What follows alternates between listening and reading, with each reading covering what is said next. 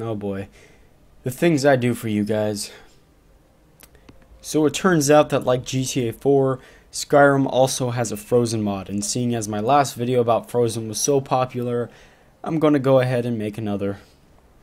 So as you can probably expect, this mod is a bit more complex than the one for GTA 4.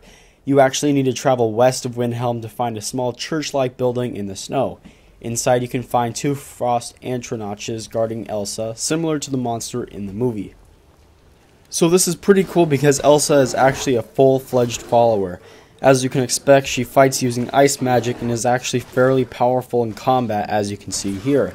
If I were to play through Skyrim again, I actually might consider having her on my journey. As with many other mods, I can see plenty of ways to improve this one.